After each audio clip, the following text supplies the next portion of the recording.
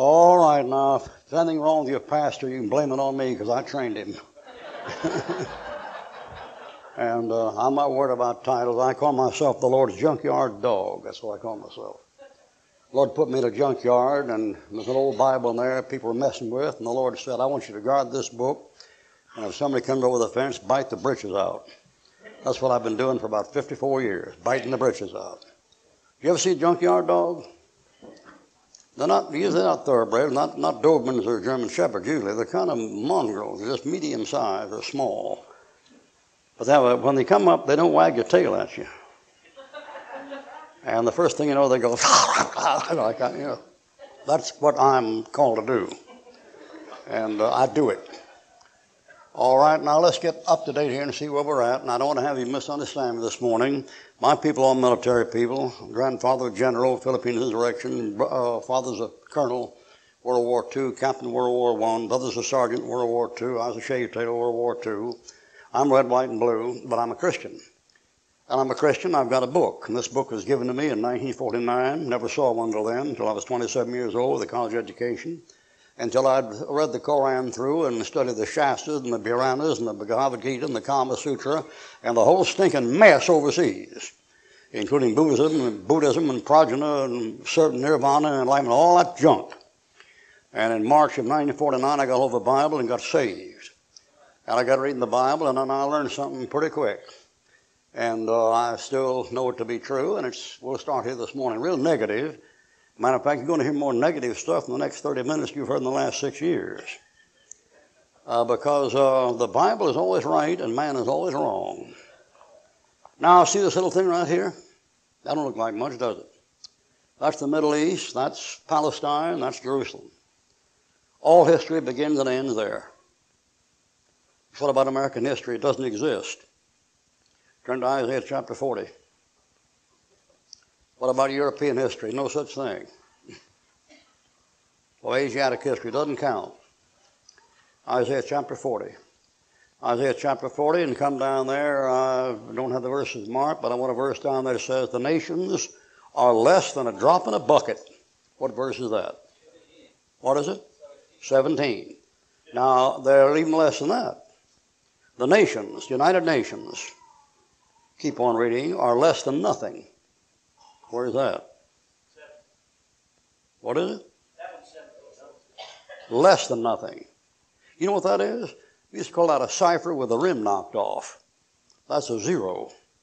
In mathematics, you know what you study? You study minus one, minus two, minus three. You know what America is in God's sight?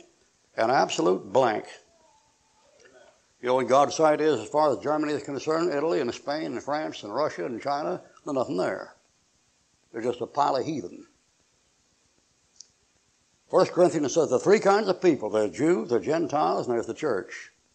The body of Christ is neither Jew nor Gentile. Outside of the body of Christ, there's Jew and the Gentile. What about the Gentile? They're heathen in the Bible.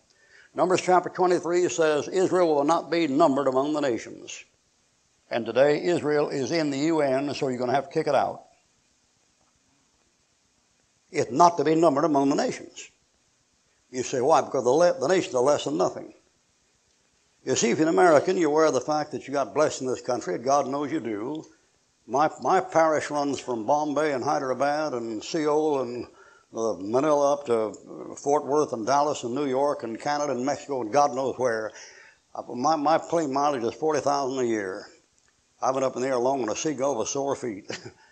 and it runs 40000 a year for 50 years. And I know the condition other countries are in. I know God has blessed this country, but He's through blessing it. You can sing God Bless America, you're red, blue, and white and blue in the face, but God in that book doesn't bless nations that live like we're living. How much you want to bet? I'll give you 500 verses like that. You, th- you know what God did with his own chosen people, the Jew? He drove them out, burned the city, and did away with them for something like 1900 years. And you think America has a privilege the Jew doesn't have? That's where you come into it, see. Oh, now see this thing here? The last thing that happens before eternity begins is the white throne judgment. That'll be Revelation 20. Do you know what happens right before Revelation 20? Why don't you? Mean, that's where, that's where time ends.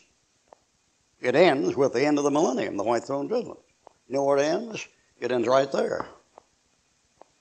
Satan went out and gathered the nations together, nations like Gog and Magog of the sand of the sea, and they encompassed the beloved city round about, and fire came down from heaven and destroyed them all. And I saw a great white throne, him that sat upon it, from before his face the heaven and earth fell away, no place found with them, and I saw the dead, small and great, stand before God.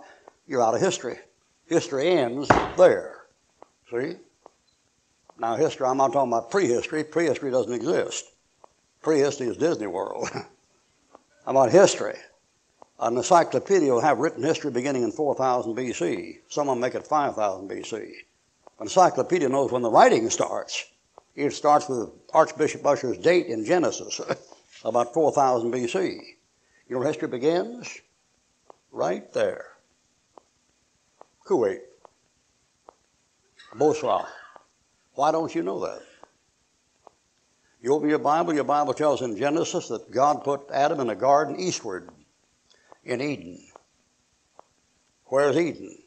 Well, in Genesis chapter 2, he t- says one of the rivers of the Euphrates in Genesis 2. He chose the other one is Hiddekel.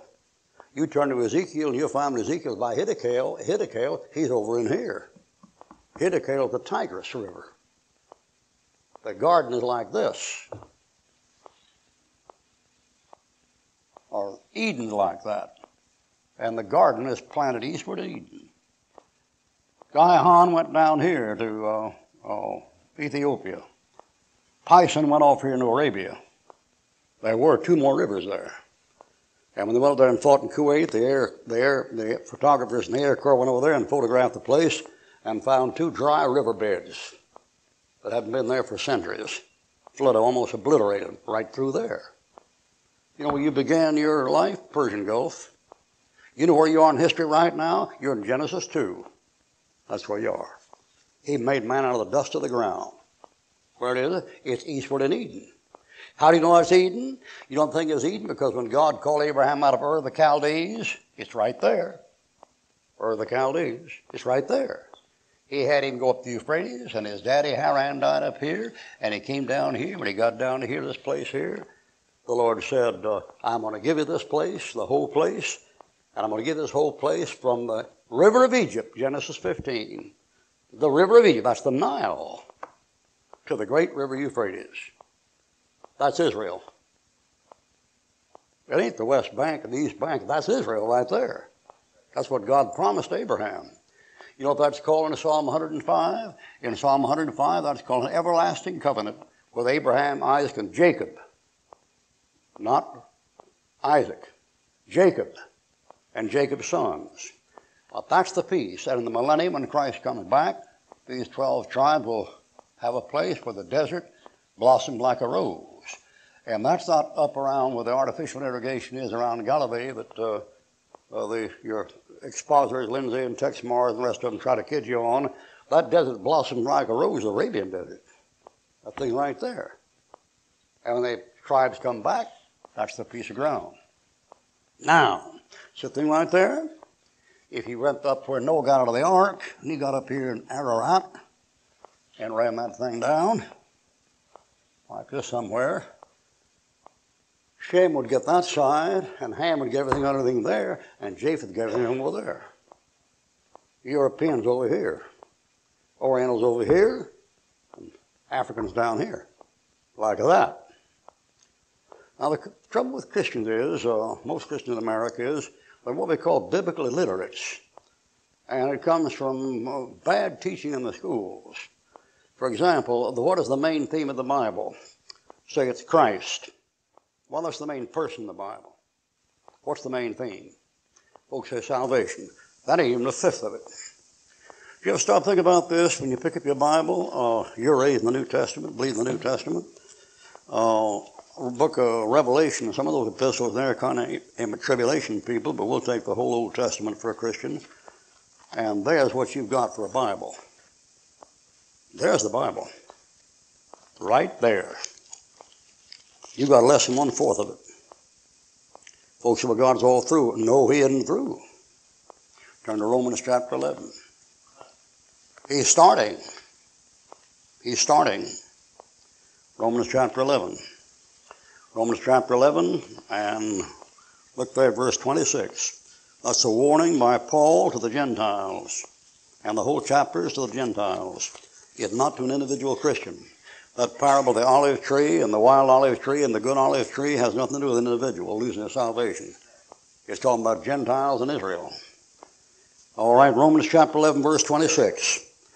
And all Israel shall be saved. When? When Jesus Christ comes back, verse 26, and turns ungodliness away from who? From who, folks? Jacob. Got nothing to do with spiritual salvation. It got nothing to do with the Israel of God. Jacob. That's the father of the 12 tribes. His name's Israel. All right, now where are you? Look at verse 25.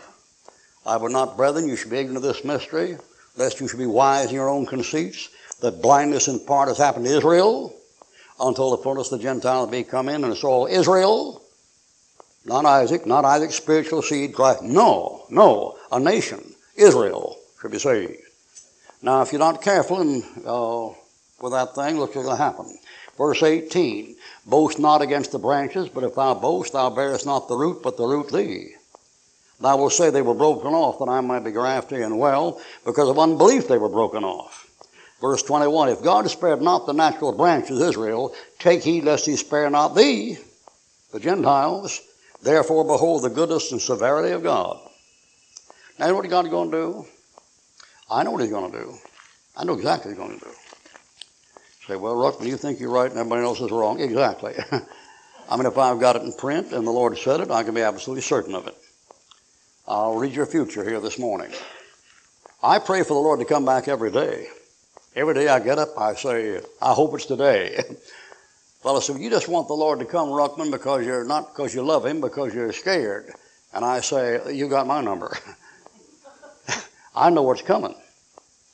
All around Chicago, they're driving down these highways back and forth, worrying about the taxes, worrying about the billing program, worrying about the gasoline, worrying about the income, worrying about Iraq and Iran, all this junk. And they don't know, and of course I'm here with you. When the axe falls, it's going to hit me just as well as you. But the axe won't fall if the Lord tarries. Turn to Zephaniah chapter 3, and when you find it, raise your hand. Zephaniah 3. When you find it, raise your hand. I want to see what you've been reading. Zephaniah 3. Got a hand down here. 2, 3, 4, 5, 6, 7, 8, 9, 10, 11. Well, that's pretty good. Some of you better get an index. did, you ever, did you ever try to memorize the books in the Bible when you went back there to Sunday school? Some of you adults now haven't, you haven't memorized them for a long time, have you? It's in the Old Testament if you're looking for it. Zephaniah chapter 3. Brother Huff, would you read us the verse? Read us verse 8, real loud and clear. Therefore wait ye upon me, saith the Lord, until the day that I rise up to the fray. For my determination is to gather the nations. What? What? His determination is to what? Gather the nations. How about that? United Nations. That's God's determination. Go ahead. That I may assemble the kingdom. Whoa! United Nations Assembly. What do Pour you? upon them my indignation, even all my fierce anger. For all the earth shall be devoured with the fire of my jealousy. The UN is gathered to kill them. That's why God gathered them. No little twin tower stuff. That's kid stuff. He's going to get the whole crew. Bind the tares in bundles to burn them. Matthew 13. Is what about the United States? No problem there. Turn to Jeremiah chapter 30. You burn up with the rest of them. Jeremiah chapter 30. Folks talk about the sheep and goat nations. There know sheep and goat nations. Their nations gathered together, and he takes sheep and goats out of those nations and sets them on the right hand and left. They're not two set, sets of nations there. Every nation there is anti Semitic in the tribulation. You take out of those the individuals who treated the Jew right. But the nations, they go down the drain. Uh, Brother Huff, read us real loud uh, Jeremiah chapter 30, verse 11. For I am with thee, saith the Lord, to save thee, That's Israel. though I make a full end of all nations. What? Full end of all nations. Uh, how many nations? All Well, go ahead. whither I have scattered thee, yet will I not make a full end of thee, but I will correct thee in measure, and will not leave thee altogether unpunished. You understand?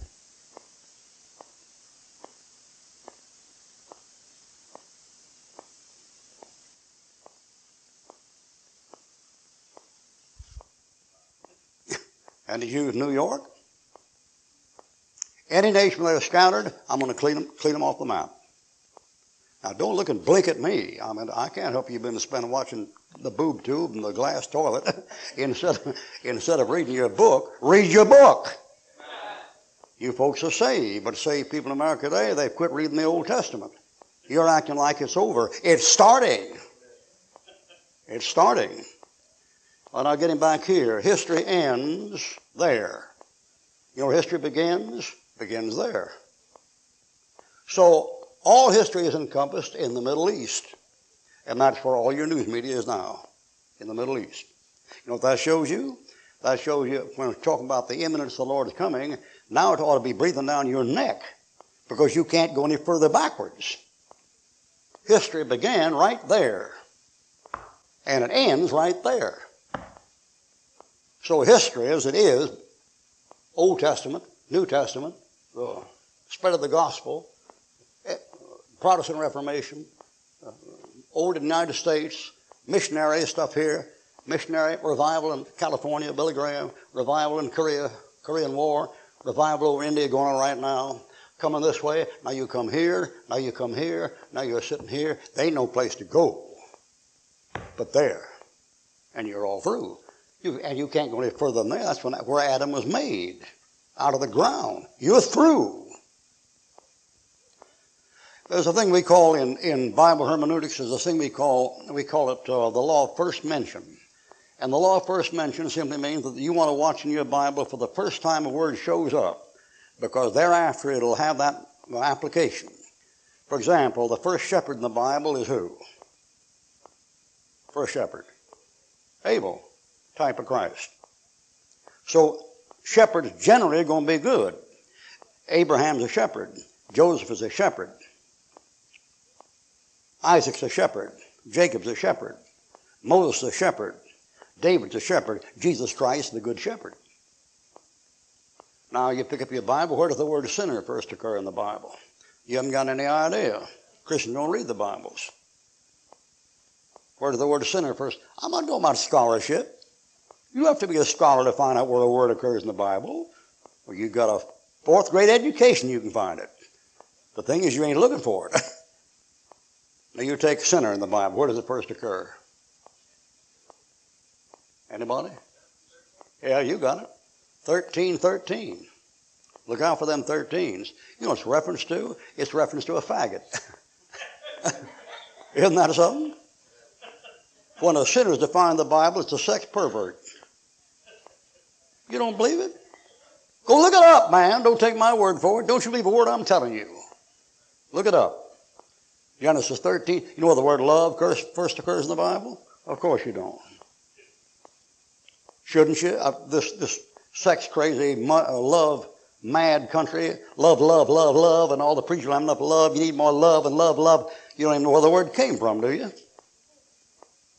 You know where love first occurs in that book you got in your hand?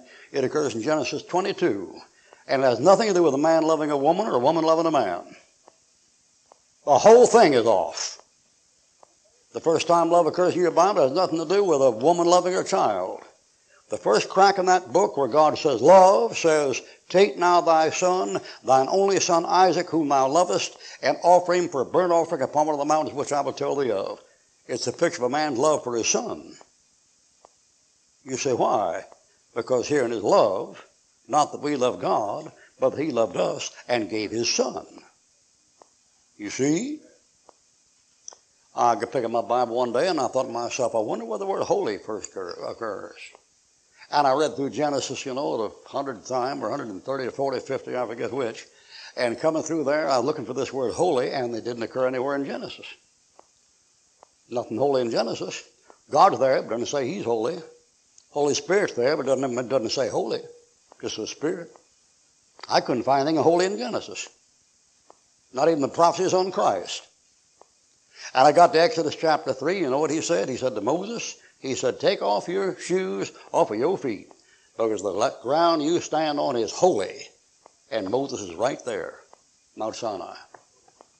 The first thing God ever said holy was this earth was not Holy Mary, or Holy Mother of God, or the Holy Church, or Holy Ramadan, or Holy Easter Bunny, or Holy Christmas. The first thing God said was holy was a piece of dirt. Right there. Now, do you know how strange that is? When God drove Adam and Eve out of that garden, he said, Cursed is the ground for thy sake. And the first thing he called holy was something he cursed. Just like that. The ground you stand on is holy. Take your shoes off your feet.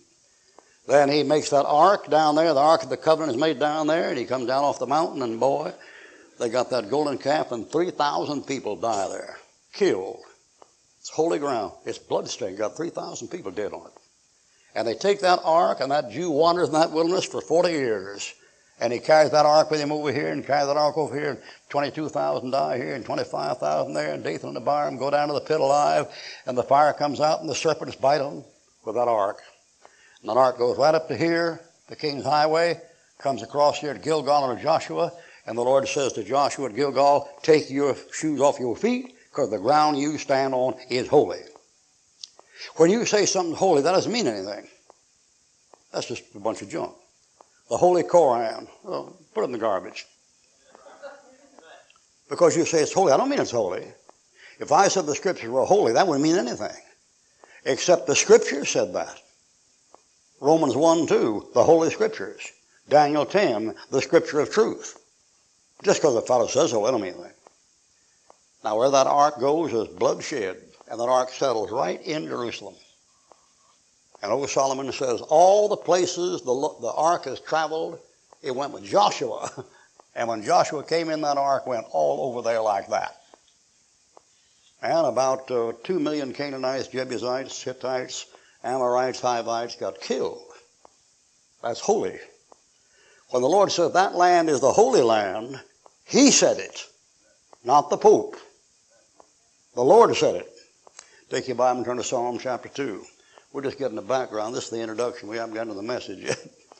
Psalm chapter 2. Psalm chapter 2. Now look it up. Nothing like a Bible to clear up a college education. Oh, yeah, man. Oh, yeah. I've had as much education. I got I got much education any neurosurgeon you got in the state of Illinois.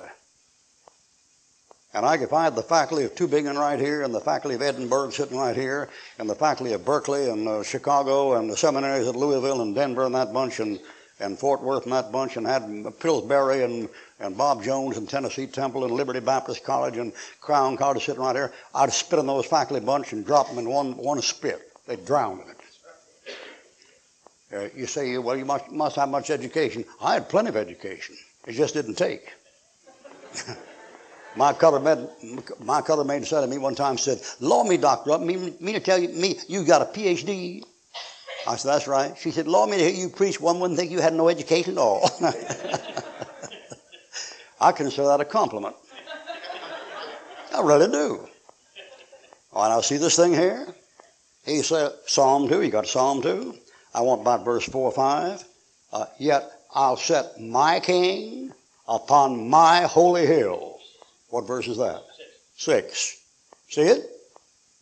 Who's his king? Look at the next verse. Who's that? I'll declare the decree. Who is it, folks? What, Jesus Christ? It ain't Arafat or Rabin or Sharon. It's Jesus Christ. What's his holy hill? It's the Dome of the Rock. Right there. That's the temple area. That's where David and Solomon built the temple. Why, no Muslim has any business there. That doesn't give name Muslim.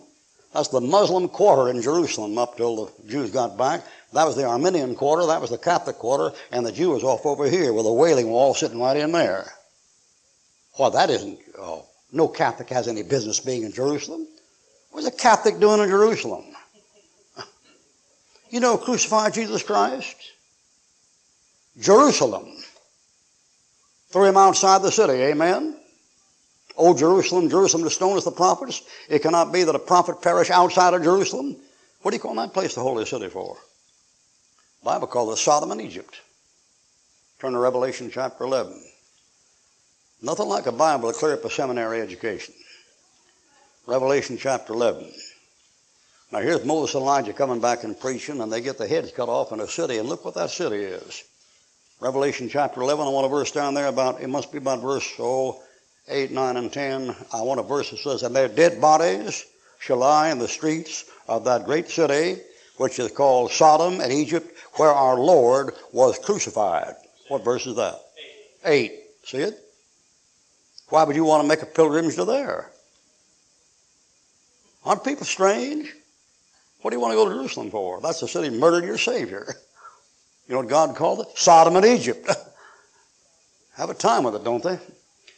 Now, you know that book is called in that book and the book of Revelation? It's called the Beloved City. That means in Revelation chapter 11, there must be something awful wrong with that city. You know what's wrong with that city in Revelation 11? The Antichrist is there. The son of perdition is sitting on the dome of the rock.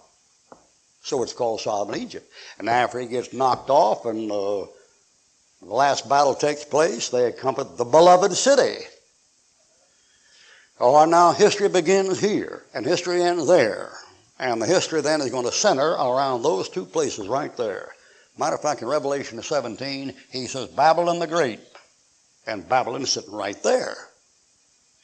Oh, and now let's get come down here to this country here. This is the country over here. It's called the land of Canaan. It's not Palestine.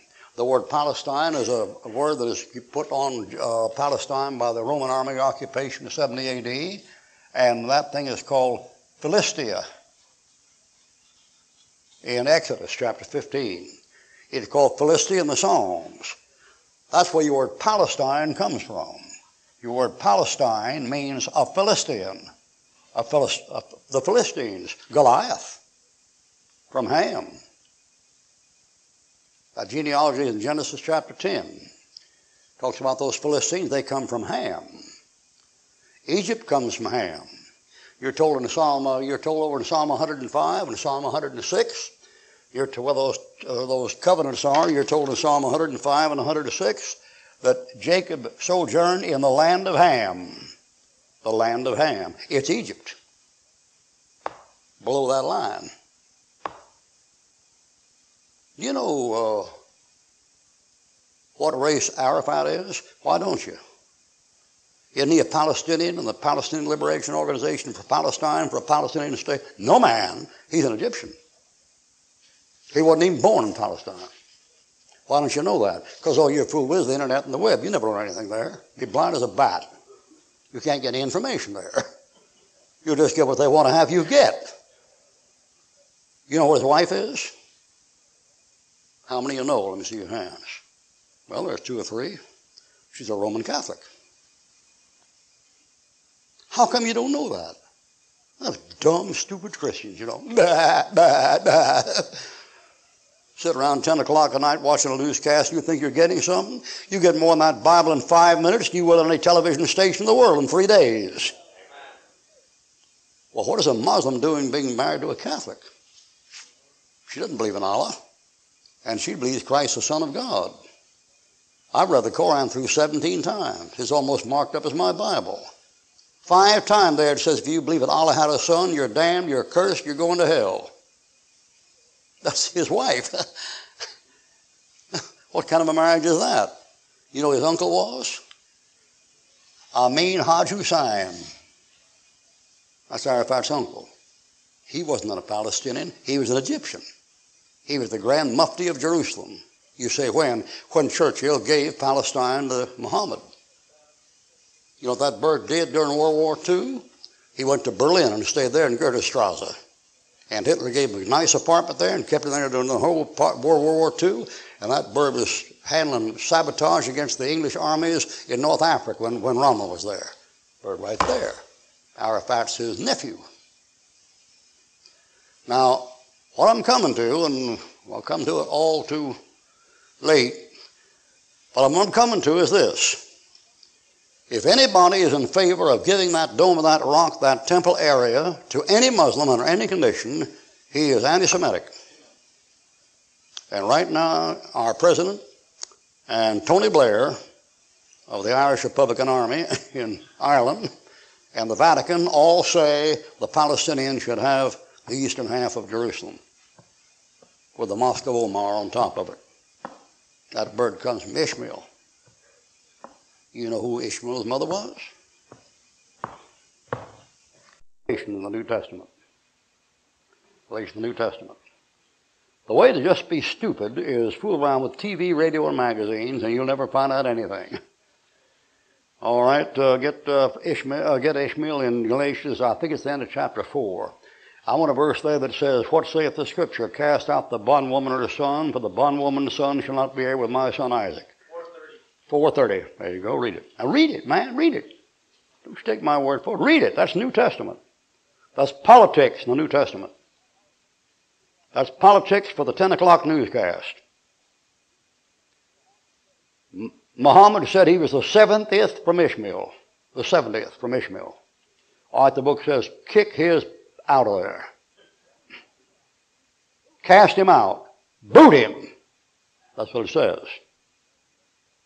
Is the American government going to do it? No, sir. They're going to go into Afghanistan and get a pipeline, then work over to Syria and get them some drugs. you know the two biggest centers of the drug traffic are? They're the, the Golden Crescent and the Golden Triangle. The Golden Triangle is where China gets all its money from. That's Cambodia and Thailand down through there. That's called the Golden Triangle. You know the Golden Crescent is? What's a crescent? You ever see a crescent moon? That's the Golden Crescent. That's where 80% of the drugs come from, right there. So Bush might be moving toward Syria before he gets through. But that ain't what the problem is. The problem's here. It always has been there. Since the war of terrorism has begun, the terrorists have doubled, gonna triple. They are the names. The Hamas, the Hezbollah, the Al, the Al Fatah, the Al uh, the Intifada, the uprising, the Muslim Brotherhood, and the Palestinian Liber- Liberation Organization, which changed itself to the Palestinian Agency so you'd think it was a government outfit. They even talk about the fellow being elected head of the parliament. There's no parliament in the Palestinian Liberation Organization. That's a terrorist organization for killing Jews. You're trying to make it look like a government. Now, you mark what I'm telling you. You see this place right here? At Tel Aviv. You know where the American embassy is? It's in Tel Aviv. You know where every embassy of anybody's embassy, embassy's at, where the embassy is, is where the capital is. An American embassy is in the capital. The capital of Palestine is not Tel Aviv. It's Jerusalem. What's the matter, land of the free and home of the brave? You don't have enough guts to change it? Well, your congressman did. In 1997, when Slick Willie was pastor, in 1997, when a fornicating scumbucket was running things, the Congress voted to move the embassy from Tel Aviv to Jerusalem. They didn't do it. You know what Bush said before he got in? That's one of the first things I'm going to do is move the embassy to. You lied, Bush. You're a Christian. I think he probably is a Christian. He's a good lying Christian. He didn't move it. Why didn't you move it? You're scared to get your britches shot off. You know why you're scared? You'd have a war. All you got right now is a military exercise. Blow up a few ragheads and shoot a few camel jockeys and then brag about what you did. That wouldn't make a good infantry problem in Fort Benning, that last two things you went through. You know something? When that mess went on in Kuwait, you know when I was getting over the radio? There were 10 people killed in Washington, D.C. every day during that war. We had 140 people murdered in the capital. You didn't lose that many uh, troops in Desert Storm. You've been safer on a tank in Desert Storm than you would have been in downtown Washington, D.C. You've got to grow up sometime, you know. Something's got to give you the horrible truth. now, you know why you don't move Jerusalem? You have a war in your hands. Now, I don't know a lot of things, many things I'm bad, but I know wars. I mean, the first thing I ever shot at when I was a boy coming up was not a squirrel or a rabbit or a deer. It was a silhouette of a man in a National Guard armory with a rifle. I was raised in a home where, the, where my daddy's idea of a big fun fun time was at night to spread out battle maps across the dining room table and, and exegete on them for three or four hours at a time, you know, with route supplies, you know, and uh, fields of fire, you know, and azimuth readings and routes of uh, uh, alternative action and just all that stuff. I could, I could tell you in detail about the battles of Gettysburg, and I've been on that battlefield three times, and Antietam, and uh, Sharpsburg, they call that Antietam, and Shiloh, and uh, uh, Kiev, and Odessa, and uh, salient, and the battles for Berlin, and the battles for Stalingrad and Leningrad, and the battles of Soissons and Chateau Thierry in World War I, and Belleau Woods, just like I'd recite something I'd learned in school. If you want a war, but I can tell you how to get it. Just go over there and move that embassy from Tel Aviv to Jerusalem and sign a military alliance with Israel. And son, you'll have you a war. And against you will be half of Europe and China and Red Russia. There's an American in the world has enough guts to take that on. You're going to mess around the bushes. Do you realize, brethren, there's only one country in the UN that has no military allies? Why is that? Isn't that strange? There's only one country has no military ally. It's Israel. Oh, I know this thing right here. See this thing here? That's the kingdom. You see this thing right here? That's paid for with Jewish shekels by a Judean Jew with a clear title deed to it. You say, where? First Chronicles and Second Samuel. Ever read your Old Testament? He goes up to the threshing floor of Ornan the Jebusite and says, I'll pay you for that thing. He says, I'll give it to you. He says, No, I'm not going to take it unless it costs me something. And tells you how much he paid for that piece of land. And the first thing is holy in your Bible is a piece of land. Where the ark goes, it's holy, and it goes right there. Which means there's going to be a slaughter of well over 400,000 people right in that vicinity. Because all the place the ark goes is holy. And that's my holy hill. Did you read Psalm 2? My holy hill. You know what that hill belongs to? God. The one that made the solar systems. You gonna you gonna you turn over the Muslims, are you? You're gonna lose your shirt. Turn to Jeremiah 25. Jeremiah 25. You're gonna lose your shirt. You're stealing something that doesn't belong to you. Anti-Semitic. Jeremiah 25. You say, why can't they avoid it? Because the Bible says there's going to be a bridle in the mouths of the nations, so they'll have to go the way he sends them. There'll be a bridle. They'll be bridled up, saddled. They'll have to ride his direction. Or Jeremiah 25. Jeremiah 25, uh, verse uh, 15. Take the wine cup of this fury at my hand and cause all the united nations to whom I send thee to drink it. It says all nations. And they shall drink and be moved and be mad because the sword that I will send among them. Then I took the cup of the Lord's hand and made all the nations, all the nations, all the nations to drink. Uh, 18, 19, 20, 21, 22, 23, 24, 25, 26. And all the kings of the north, far and near, one with another, and all the kingdoms of the world which are on the face of this earth, 188 of them, one sack, Verse 27 Drink ye and be drunken, spew, fall and rise no more, because the sword which I will send among you. And it shall be if they refuse to take the cup at thine hand to drink. They won't take it. Why, it isn't my cup. I'm not going to take it. I mean, God's going to bless us. Then shall say to them, Thus say the Lord, you shall certainly drink. Certainly drink. Verse 20, 32. Behold, evil shall go forth from nation to nation, and a great whirlwind shall be raised up from the coast of the earth, and the slain of the Lord shall be at that day from one end of the earth to the other. And I don't mean Armageddon. That's a minor battle. Only 200 million get killed in that one. This thing is international. He said wipe out all the nations where that Jew had been. That's 188 nations. Their, their doom is sealed. All right, uh, there, there it is. And uh, that's, uh, there's, your Old Testament is just filled with that. What Christians have done, they've forgotten 500 verses in the Old Testament that are coming, going to come to pass. If the Lord tarries, they're going to come right to pass with you watching them. I hope the Lord doesn't tarry. On that little history. Little history. Here's Palestine, and Palestine has never been a, a Palestinian state in the history of the world.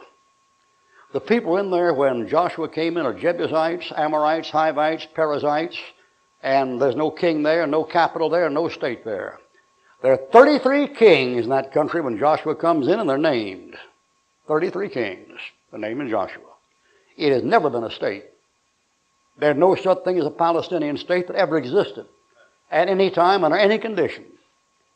And you take when Rome was in there, Rome ran that place and ran the Jews out, and the Turks came in. The Turks took it over. They didn't make any state, didn't make any capital. And the Turks had it until uh, General Allenby came into Jerusalem in 1917, November, under a British mandate, and the British didn't make it a state. And they didn't make any capital for it. That thing has never been a state with a capital except under David and Solomon. Paid for in money by a Judean Jew. Christ said, the salvation is the Jews. So every news media out, outlet you have is crooked. All of them. Every one of them. There's no such thing as a Palestinian. You know what happened? The Jews came in this place in 1948. You know what happened? How could you know? when they came in there, there were Muslims, five Muslim armies attacked that Jew. Up in Syria, Transjordan, Saudi Arabia, and they came Moroccan around in Egypt, attacked that Jew. And when they came in there, they told every Arab in Palestine, get out, and if we catch you in there, we come in, we're going to hang you. As a, as a, as a conspirator with the Jew. 600,000 Palestinians left when the Jews came in. 300,000 stayed. The Jews won the thing, the 300,000 stayed. None of them were hung, and they became citizens, and were even given an opportunity to vote, which you couldn't do in any country of Muslims ever ran. You couldn't vote for who's going to run you. They could under the Jews. 600,000 left. You know how many came back? Three million. There are three million refugees in Palestine. They weren't born there, weren't raised there, and they constitute terrorist organizations dedicated to genocide. If you give them that thing right there, what you're doing is arming Islam to kill Jews. I got 13 statements by Islam's leaders from 13 different countries where every one of them says our goal in getting a capital is to get rid of every Jew in the land. Hitler called out Judenrein, free of Jews. That's the position. This guy here is a Nazi who lived in Germany. And Arafat is his nephew. So he wants his Palestinian state set up there so he can kill every Jew in the land.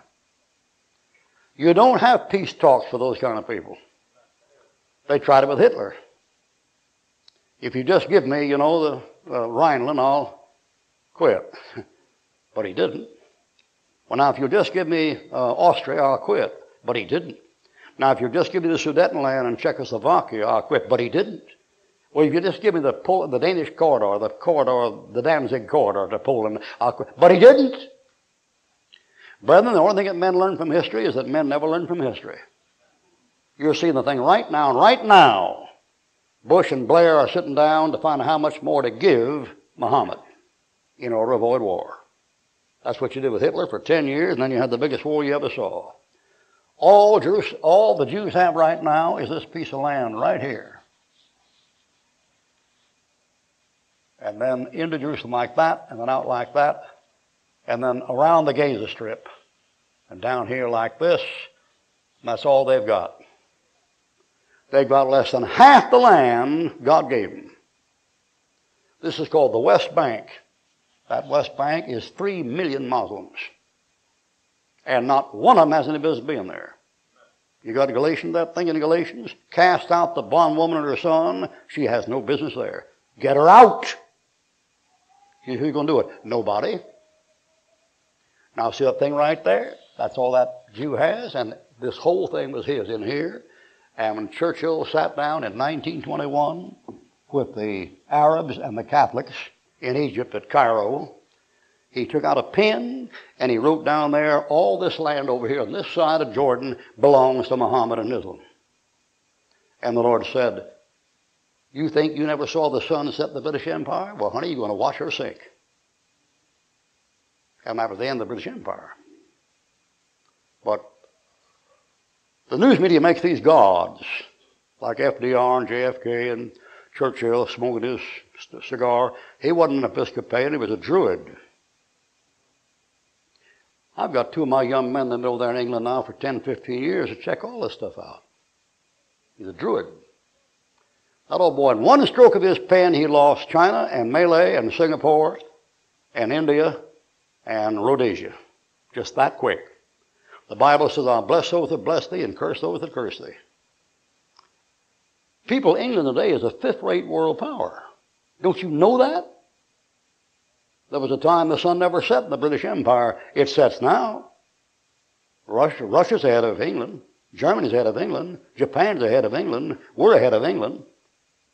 Australia's ahead of England. It's a fifth rate world power. The book, the, the world that gave you a King James Bible. What happened? They turned against that Jew.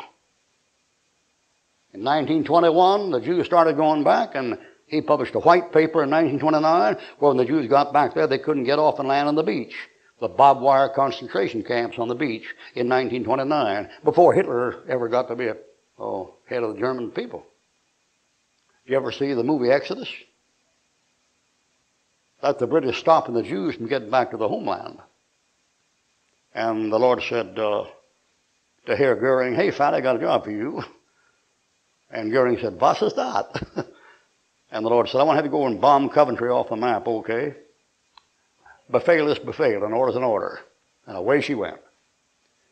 Now we've got to wind this thing up. These are people that led the Jews in the days after that, after 1948, when they got back. That's the military commander, Moshe Dayan, the fellow with the black patch over his eye. He gets his instructions on blitzkrieg from German SS officers. And after World War II, some of the SS really repented. They did. And to show their repentance, they went down to Israel and built Israel an army and showed them how to handle it. They showed them going to the radar, showed them how to put a bomb out there on a runway where it'd blow up later when you're trying to clear the runway of bombs. They helped them out. And those are those wars. These are the attempts, summits, to bring peace to Palestine by giving more and more of Israel to the Mohammedans every time they met. The Islam lied in all three of those meetings and didn't tell the truth one single time. Just took more land, took more land, took more land.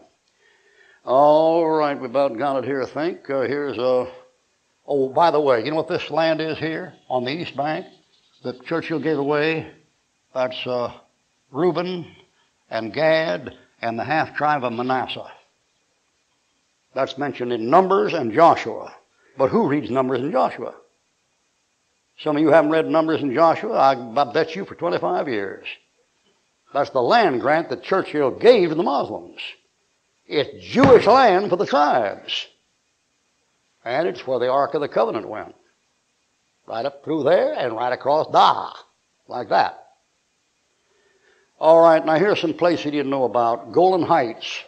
That's a place up in here where whoever has the high ground can shoot artillery and rockets down on the Jewish people and that, that was given away, given to Muhammad uh, at one of those meetings there.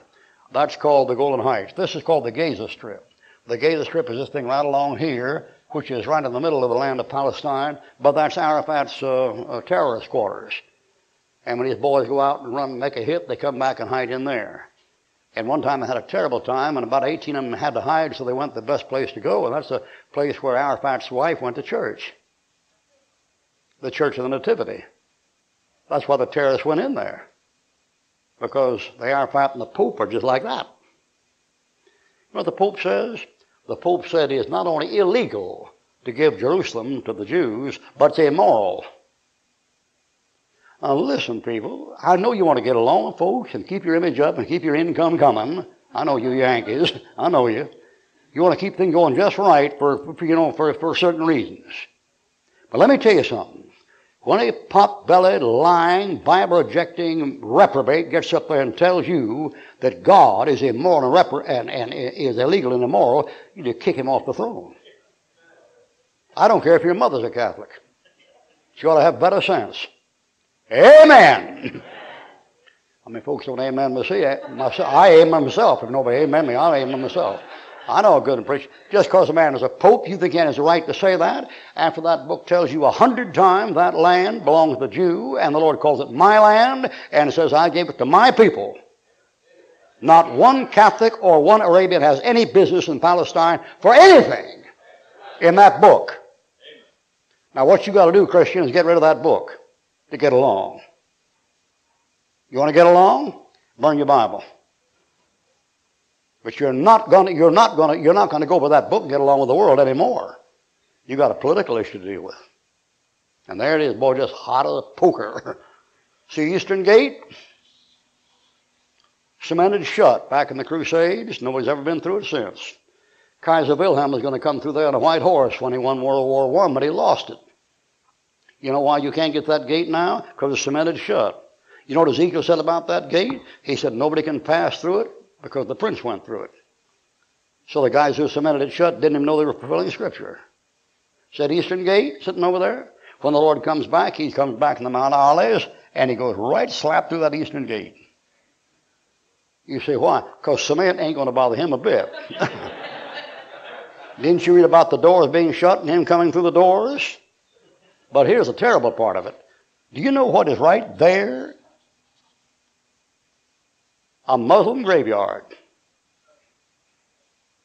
So when the Lord comes on his white horse, Arabian stallion, thoroughbred, he trumps on Muhammad's people, thump, thump, thump, thump, right over the dead bodies. That's what the Lord thinks of the Holy Koran. Whether you think anything about it or not. I got to close. We'll close Isaiah 63. We got to close here. Running a little over time. It's too much to cover. Just too much. But Isaiah 63. Isaiah 63. That's the Lord finishing off the people he said he'd finish off. Isaiah 63.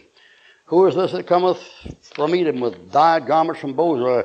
He that is striving, striving his strength and I, the speaking righteousness, mighty to save. How come your garments are all red like that, like somebody tread the wine fat on the grapes?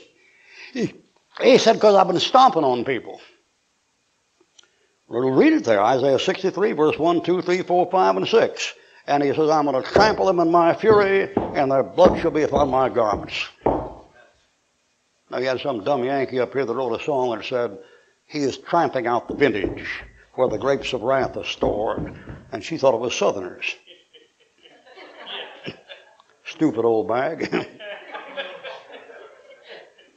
you know who you're going to stomp out? Every nation, every nation that messed with that Jew, where that Jew had been. Nothing is over. He's going to be King of kings and Lord of lords. And Zechariah says he's going to sit down on the throne of David on the top of the Mosque of Omar.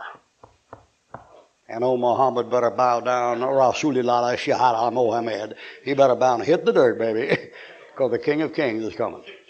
Okay, that's enough for a while. We're going to warm up here. yeah. I can get the mic straight. Yes, yes. I have gone back to the bathroom with them, you know. After. and the seventh month for a Jew, around September 23rd, 24th, is the day that the earth is four days off the center of the sun.